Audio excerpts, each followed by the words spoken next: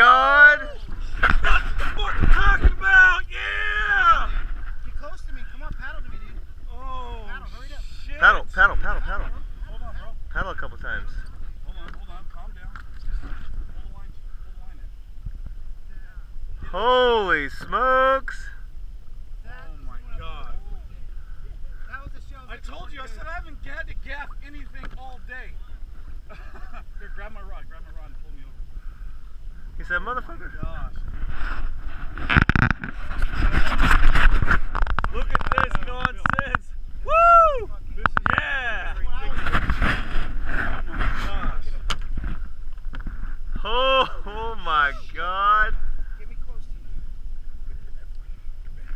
Oh, dude, you better hang on to that gaff. Right, that little tiny treble hook's got him right now. Where's Adam? I was ready to go home, dude. Seriously. oh Look my at this. gosh. We got the JSF flotilla. Thank you. You're welcome. Hold on, man. I gotta, I gotta clean my pants. Oh. Oh. Oh, this is what we found on shore one day. Remember? Yeah, I do. Oh my gosh. You can't get this anywhere else. No, sir. Dra- Jurassic. Jurassic sport fishing with a savage eel.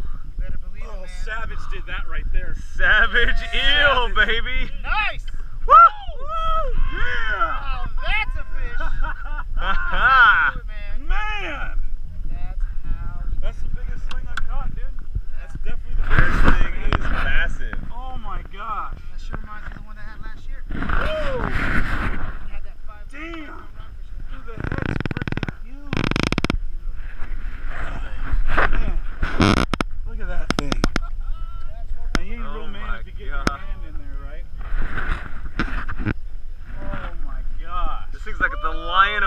Of the sea right now. Oh,